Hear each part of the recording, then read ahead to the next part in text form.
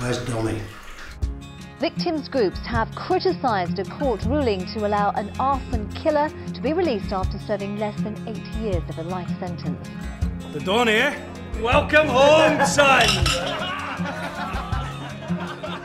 Hey, things are gonna be great. I can feel it. You and me together again, right? Donny, I think you should keep away from him. Something's going to happen. And if you're close to him, you'll get hurt too. I'm looking for someone. Oh, aye. Who's that?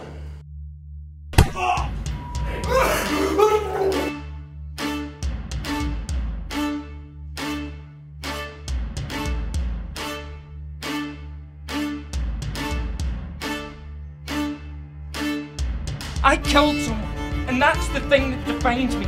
That's who I am. That's what I am. That is not who you are. You said you'd kill him. That's not what I said. Eyes and said, right? Everybody's laughing at you. Oh yeah, Kenny thinks he's a big hard man throwing his weight about.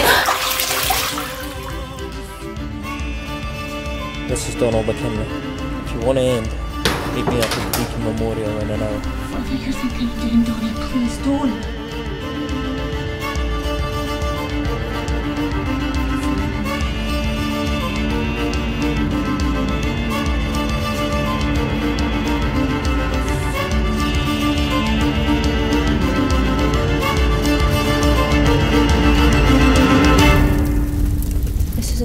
Man, isn't it?